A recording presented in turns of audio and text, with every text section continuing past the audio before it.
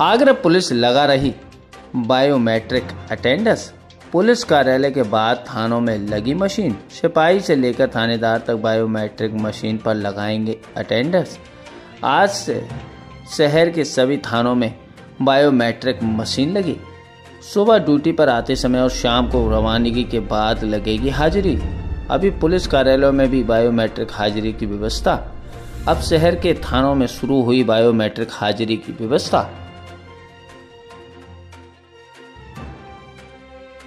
पहले में एटने वो बायोमेट्रिक मशीन लगी थी अब थाना लोहा मंडी पर लग गई है। किस तरीके से काम करेगी और क्या क्या देखिए जैसा कि आपको पिछली बार भी बताया गया था पुलिस आयुक्त महोदय के निर्देश पे संपूर्ण कमिश्नरेट आगरा में धीरे धीरे नहीं भाई किसी सभी ऑफ़िस में तो बायोमेट्रिक मशीन्स लग गई जो वहाँ पर उपस्थिति दर्ज होती है सभी कर्मचारियों की बायोमेट्रिक मशीन्स के माध्यम से दर्ज हो रही है। और उसी के क्रम में आज थाना लोहा मंडी से ये बायोमेट्रिक मशीन का अटेंडेंस थानों पर भी शुरू कर दिया गया है। सबसे पहले इसको सिटी जोन में लागू किया जा रहा है। और इसके पीछे जो मकसद है, हमारा ये है कि हमारे कर्मचारियों में एक समयबद्धता की क्वालिटी की और डिसिप्लिन की वैल्यूज़ उनके मूल्यों को स्टिल करना।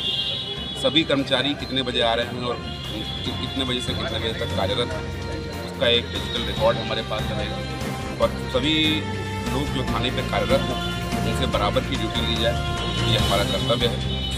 अ, ये हमारा लक्ष्य है। इसके माध्यम से हम ये कराने की कोशिश करेंगे। इसमें जो बायोमेट बायोमेट्रिक मशीन लगी है यहाँ के सभी थाने के सभी कर्मचारियों का डेटा इसमें फ़ीड है। जो सुबह की शिफ्ट वाले होंगे अपनी शिफ्ट होने से पहले आठ बजे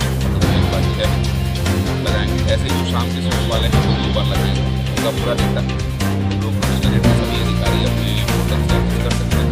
उसके आधार पर हमारे पास पूरा डेटा रहेगा। एक व्यवस्था है। इसको लागू करने की कोशिश की जा रही है और इसको पूरे सिटी जोन में आज यहाँ से उद्घाटन के माध्यम से हमने लागू कराया है। और भविष्य में जो संपूर्ण कमिश्नरेट इसमें सभी लोग, जितने भी कर्मचारी हैं, इनकी अटेंडेंस बायोमेट्रिक के माध्यम से लगेगी। ठीक।